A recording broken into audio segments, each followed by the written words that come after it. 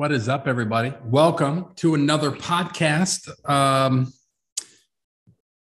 man, I'm excited about today's podcast. Uh, we're talking about some pretty cool stuff. Um, you know, this is investing, real estate, business. This is entrepreneurship. This is life. That's kind of our tagline with the Real Wise podcast. So, we're covering a little bit of uh, entrepreneurship today. We'll cover more real estate one, you know, here and there, and we'll also cover more life for sure. But just a little entrepreneurship. So welcome, my friends, to the Real Wise podcast. Uh, excited to have you.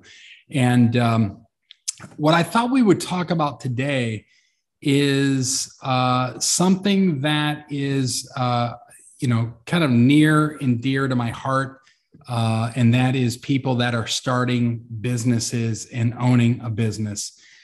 Um, one of the hardest things you'll ever do, one of the most rewarding things you'll ever do.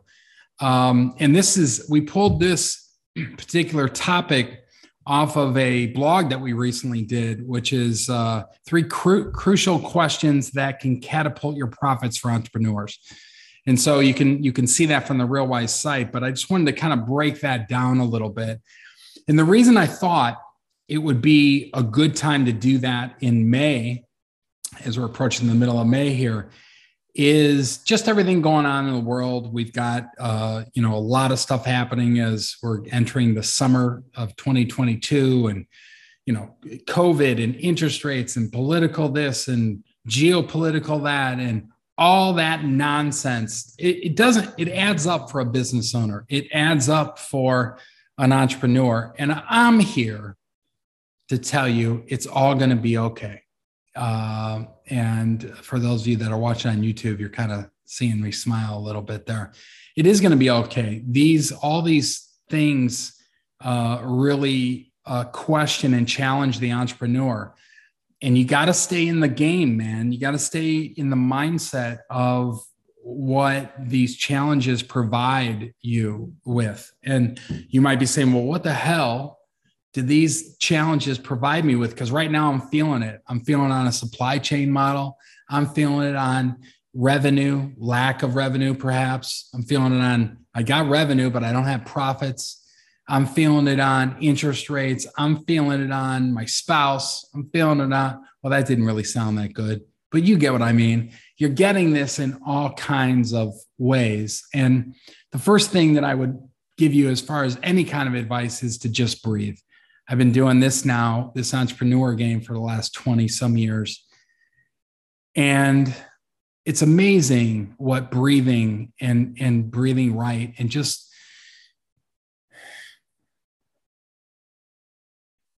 really does.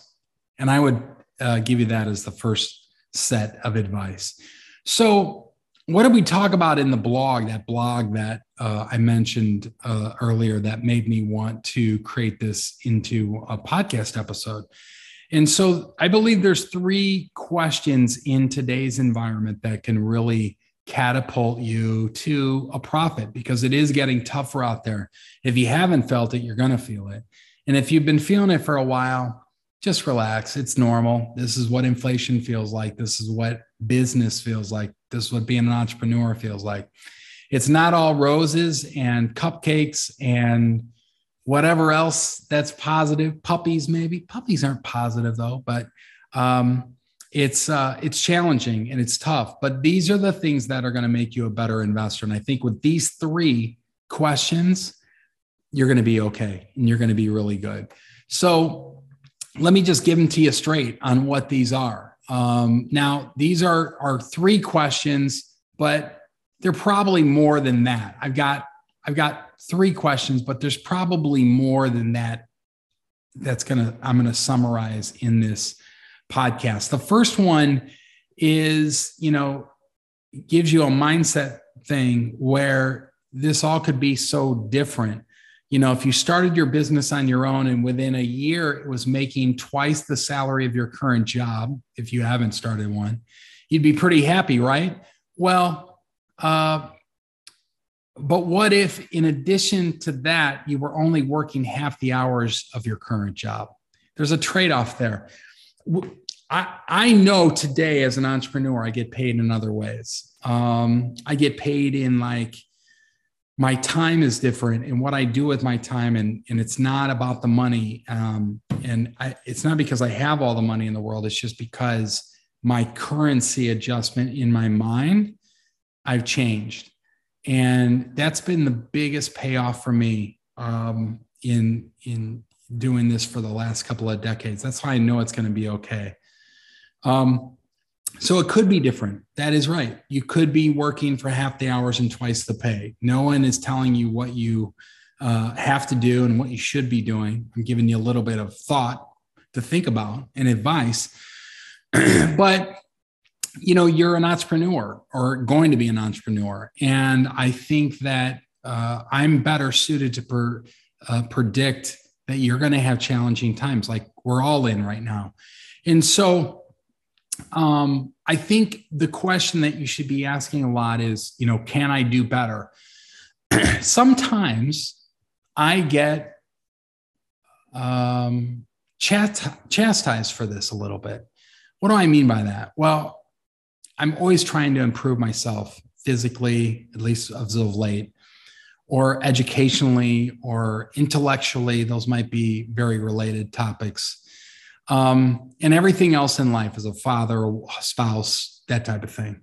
And so I think that's a really good question for businesses today. Can how can I do better? Not can I do better? We all can do better, but how can you do better? Um, if you want greater profits from your business, it's really important to perform regular and specific reviews of all the aspects of your business. Um, we have um, we've got a program called Pocket CEO. This isn't an advertisement, it, although it probably sounds like one. And one of the things that I do uh, that I have our clients look at is this idea of this um, SWOT analysis strengths, weaknesses, opportunities, and threats. And the interesting thing is with that is there's always those items coming around, but they change. And this idea of changing is what you need to grasp as an entrepreneur or a future entrepreneur. So, how can I do better? Start understanding that there's always going to be uh, strengths that you have and your company has. There's always going to be weaknesses that you have and your company has. There's always going to be opportunities that you have and your company has. And finally, there's always going to be threats uh, that you have and your company has. No matter what industry you're in. If you do sell widgets, or if you are in real estate, or if you make pens, uh, auto business, whatever you're in, cleaning business. Um, I know these things to be true by being an entrepreneur for the last 20 years. Um, it, you might ask yourself that question then how can I do better? Or how can we do better as a company? Albert Einstein once said it's impossible to solve a problem with the same kind of thinking that created it.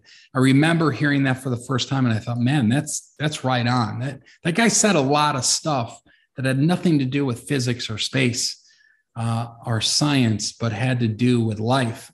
And uh, this was one of those. So I'll say it again: it's impossible to solve a problem with the same kind of thinking that created it. So you might need some help on this. Your best resource is to really talk with somebody who has faced these issues before, found out the effective solutions for them. That's why I'm glad you're tuning into the Real Wise podcast because we tackle these things. True entrepreneurs never waste time or energy kind of reinventing the wheel. Uh, they just really go and, and talk with the guy who created the wheel in the first place. So uh, that's probably really good advice here that I would give to you is, um, uh, you know, here's a tip that I've also heard a lot of business owners use that when reviewing business strategies, most people come from what's wrong and how can I fix it perspective. Here's a little bit better idea on how to change that. Start from what's right about this issue. Again, it's an issue, it's a challenge, but what's right about it? For example, I've got a, a loan in our commercial lending side that is um, not to any, the client's not fault. It's certainly, I don't feel like we're the majority of the fault. We're always a little bit of the fault because that's how we can take responsibility. but this is a battle between the closing segment and the title company. It's not even a battle, that's way too powerful of a word. And I asked the question, what's right about this issue? Well, what's right is we have a client and they're ready to close, and we've got a property that's ready to close. So that's what's right about it. We're really, really close. But when you come with it from that positive perspective instead of negative, you really create and have creativity on your side. And problem solving is really kind of switched on by that. And it's in alignment before you even start to solve that problem is you're focused in in really providing a positive approach rather than negative. Instead of saying what's wrong, how can I fix it? That's negative. Talk about what's right with the issue. It's a really it's a really good trick and I would it does take some practice, but I would really encourage everybody to do that. And so the five right questions, I know I said three earlier, but the five right questions in asking these will lead you to the answers that you're really seeking uh, about this challenge. And it could be a challenge from the economy, it could be a challenge from a client, it could be a challenge from a manufacturing um, supply source. It could be all kinds of interest rates, it could be all kinds of challenges. So the first one was what's right about this issue, situation, or strategy. Get clarity on the task at hand. The second one is what makes it right? What is it? Get specific with that. What is the issue, or what is it about those things that make it an effective process for the situation, or an effective product, an effective client, any of those? Get specific. What makes it right? The next one is what would be ideal? Get creative. What would be an ideal outcome of this? What would be the ideal strategy or solution for this issue? Put it on paper. I love the aspect of taking it from mind to actually writing that out. I think it's a good exercise. And there's something about taking it from the mental to the physical and writing it out that I don't know makes it you know, makes it from magic to real. It brings it into reality. So, what would be ideal? Get creative and, and again, be specific with that. Number four, what's missing that could bring about the ideal situation? I love these. These questions kind of daisy chain together and really kind of walk you through this positive uh, approach to challenges and problems for entrepreneurs. Um, what's missing that could bring about the ideal situation. Get resourceful here. What do we need to find, create, add, invent, or reach to make this happen, to bring this as a solution? This is an example of one. I'm working on an event that I'm the MC. I'm hosting 1,200 people uh, coming up. And uh, we really wanted to bring some star power in there. And I can't disclose I could disclose, but then I'd have to kill you. I can't disclose who the star power is going to be. But I took this approach and I, I applied it from a positive end. I had no idea how I was going to get a hold of this person. And now I'm talking to this star powers people every day. So this works. Put the power of positivity out into the universe. If you've been with me for a while, you know I've written the book, The Alchemy of Wealth. I totally recommend people reading that. Um, again, there's my advertisement. But in the alchemy of wealth, I talk about putting this out to the universe. The universe has a way of getting out of your way and making things happen as long as you take a positive uh, approach and take action as well. So uh, the fifth one is what will it take to put in what's missing so we can bring about the ideal situation? I've used this on real estate deals. I've used this on challenges and problems I didn't think I could get out of. I've used this on all kinds of stuff. I'm telling you, this process works. This daisy chain of questions works. And it works again really well when you take it from the mind to pen on paper. Uh, but it also enables you to go to your team with that and delegate a lot of this stuff. So get busy here. What is it going to take to make this issue strategy or situation ideal from a positive perspective? Using this what's right perspective will over time change your complete mindset for really everything, not just your business, but also your personal and family life too. See, I told you we are entrepreneurial, real estate, investor, family, life, you name it. We just brought it back. That's called a loop in the speaking world or comedy world, if you will. Um, but really, I, I love this. What's right perspective? That's what we're going to name this. But it could change your mindset on everything. Again, not just with your business, but personal and family life as well. Think of how many conflicts occur each day in the home where the words what's wrong describe their mindset. I do this all the time and I got to change this. I am going to change this. So we need to start asking what's right with this situation.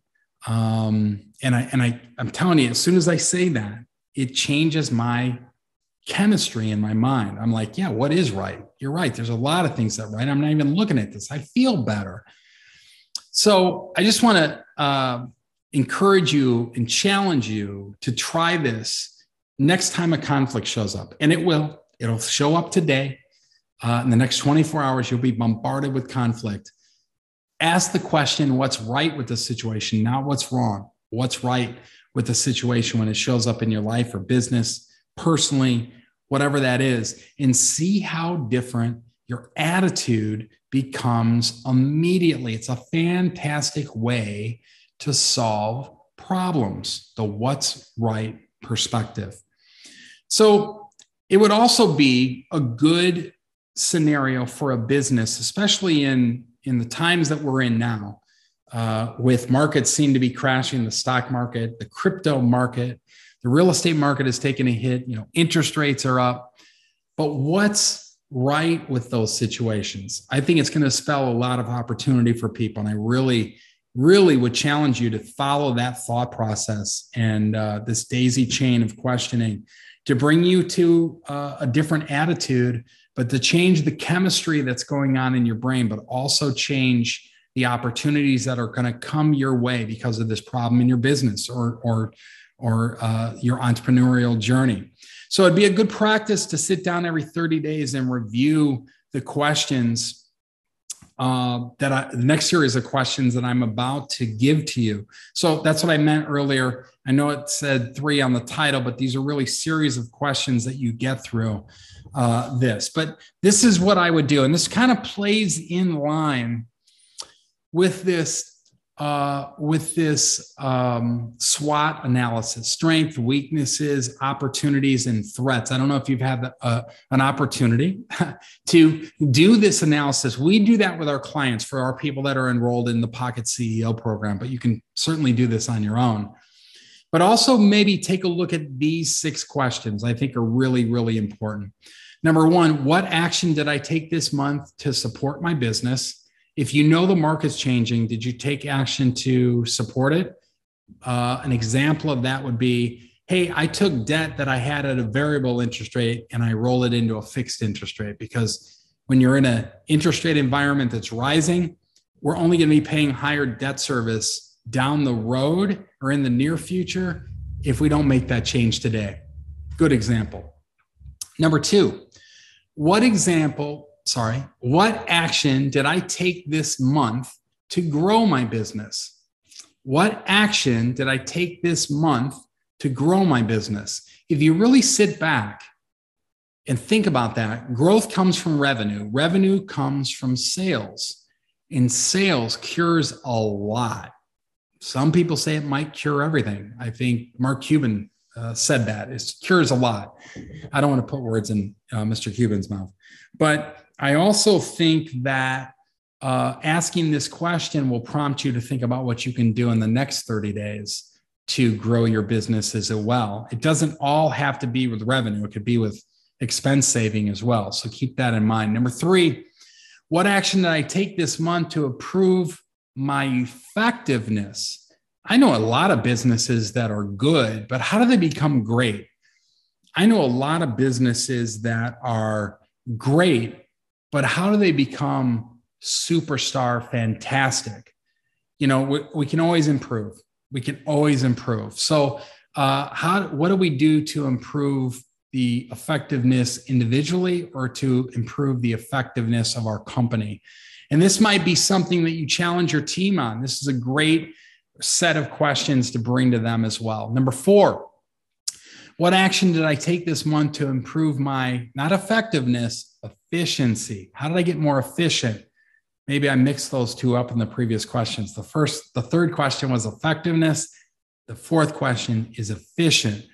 Um, and, and efficient is things like saving time, saving resources. Effectiveness is how much time did it take you to do that? How effective were you in using those items? So there's a little bit of difference there, but I think it is huge with regard to business effectiveness and efficiency, especially when we have supply chain challenges, especially when we have interest rate changes, especially when our clients and customers are paying more for food and energy and uh, materials themselves and they might be frustrated or a little fearful about what's going on in the future. So, these two questions, three and four how do I improve my effectiveness? Number three, and how do I improve, or what action did I take to improve my efficiency? Number four, are really good questions to uh, become uh, a habit for you to ask every 30 days. Number five, uh, what specific results have I created this month through my efforts? Um, results are everything. That's how we keep score. Now, you don't want to take this to the extreme and try to keep results in everything, but results certainly are quantifiable and measurable. And uh, that's how we improve. That's one of the ways that we improve. So I would encourage everyone to start looking at results and start keeping track of key metrics, key performance KPIs, uh, uh, key key performance uh, indices or metrics that help you understand the more major important parts of your business? And really what have you created over the last 30 days to help those efforts?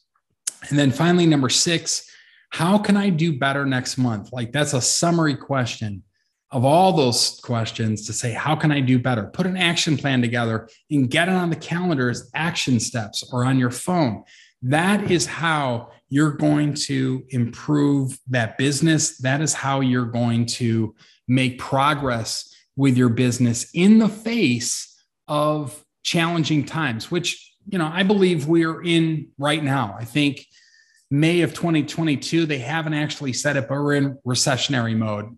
Uh, GDP growth and and all the other stuff that's happening with our economy. We're in recession right now. They, they, they just haven't come out and said it, but we are.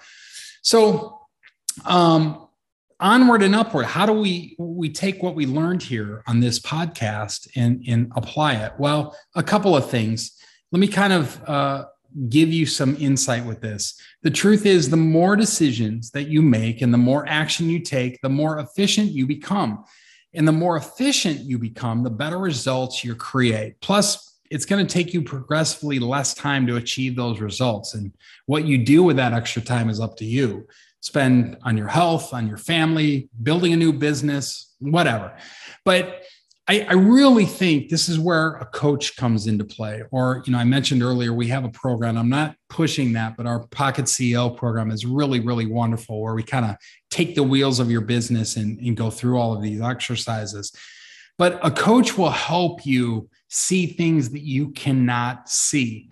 Uh, as a business owner, as an entrepreneur, all of the successful entrepreneurs and athletes, they all use coaches uh, and you know they can they can really uh, again bring you insight where you can't see it that's going to help you and your business and company. So uh, i just kind of want to point that uh, out. Uh, so making greater profits in your business comes down to these questions that we went through on this podcast episode you know what's working what's not uh, lead with what's working uh, narrative. That's the positive way. But really, how can I do better? The responsibility relies typically on you if you're the entrepreneur, if you're the business owner. I like that. I know a lot of people try to skip responsibility, they blame, they put excuses up. 99% of the time, people don't like that. I don't like it when I have to say, you know, that's my job. That relationship failed because that's it was on me. Um, that business failed because it was on me. Um, that um, client I failed that client. You know, I could have done things a different way. Now, there's certainly, uh, I'm not trying to have anybody beat themselves up, but at the same time, if you don't take responsibility for challenges in your business, then who else is going to? Not your employees, not your contractors, subcontractors, not your clients, not your lenders, not anybody but you. And that's why all of these questions that we talked about during this podcast episode is going to help you in your business in times of challenge and uh, certainly where we are today. So that's it. That's the Real Wise podcast for this uh, session and this week. I so appreciate you turning in. Real estate, business, entrepreneur, and life. That's what we're about. And uh, we're just enjoying this. So we look forward to seeing you on the next podcast. Uh, remember, you can find us on Spotify, Apple Podcasts, Google Podcasts, YouTube if you want to see this mug, and our guests coming real shortly. So, again, enjoyed the time uh, with you on this podcast. Hopefully, you can take uh, the information that we got and uh, use it to your advantage because I do think that there is a lot of opportunity coming our way. We will see you next uh, podcast episode.